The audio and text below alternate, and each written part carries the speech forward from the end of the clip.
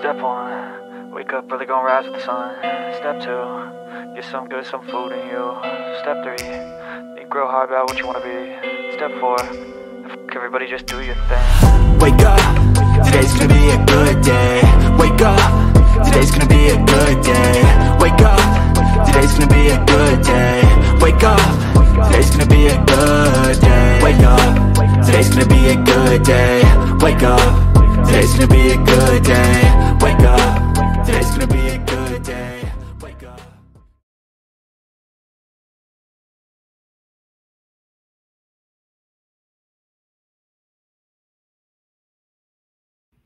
I pledge allegiance to the flag of the United States of America and to the republic for which it stands, one nation, under God, indivisible, with liberty and justice for all.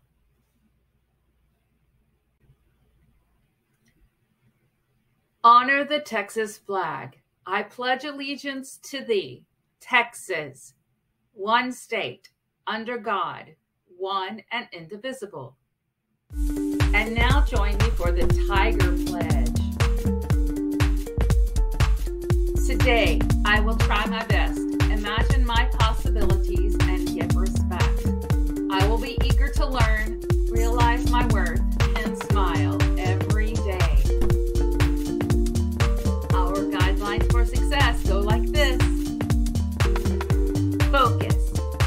On the positive.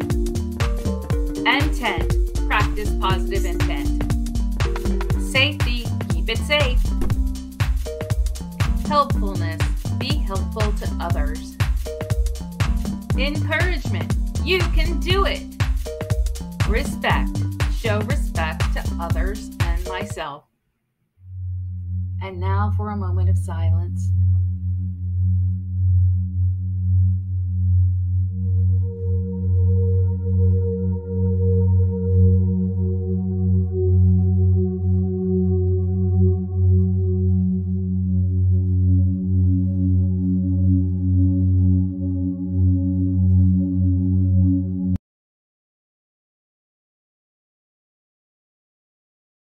Happy Friday. Today I'm here to talk to you guys about some rules that we have here in the computer lab.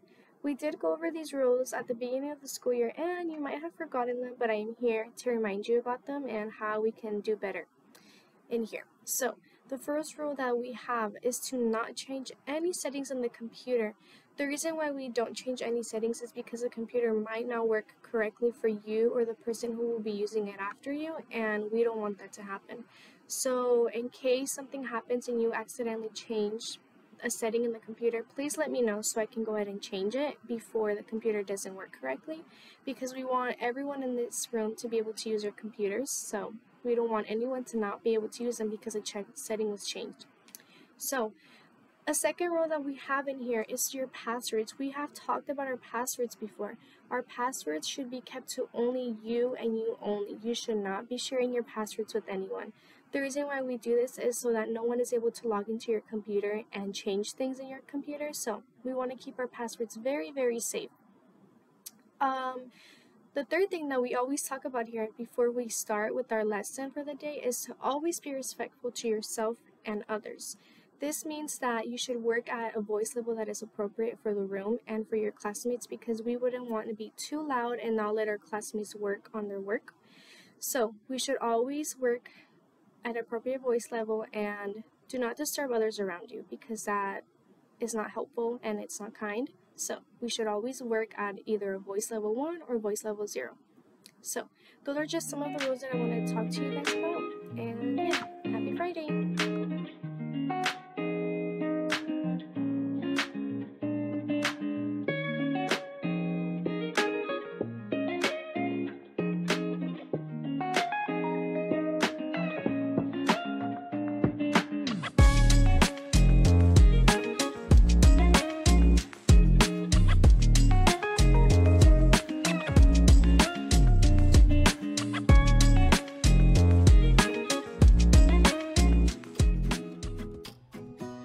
Hi Fisher family, it's Mr. Rodriguez here to announce the Reader Leaders of the Month. Hola, soy el señor Rodriguez y estoy aquí para anunciar a los lectores del mes. Some of the reasons these students were chosen include showing a love for reading, maintaining or moving up reading levels, and being actively engaged during reading. Estas son algunas de las razones por las cuales los estudiantes fueron elegidos.